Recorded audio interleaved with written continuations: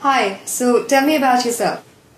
Sir, I am uh, sitting in front of yourself, uh, myself Rakesh Mohanty, and uh, I am uh, technology mad. But if you will ask me what is my passion, I will say hardware. But this is for the first time I am doing on Spiky. Skype, you mean? Pardon, sir? Okay, not, um, go on. Sir, I am from Jharsuguda.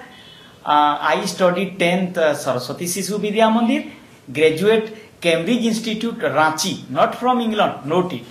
And I am uh, putting my screwdriver everywhere and seeing what is happening. I am a hidden scientist. Okay, so what experience do you have? Sir, I am working with BSNL telephone company. Whenever the line goes up, I ride the telephone khamba and make the line good. And uh, during my spare time, I chat on girls on Facebook. And also I collect pan masala wrappers. I have a huge collection, almost 2000.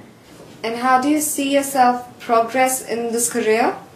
Sir, I will have a fruity career in your steamy company and I will perform and reach the climax position. Okay, and uh, can you shift to Oman? Will you have any problems shifting to Oman?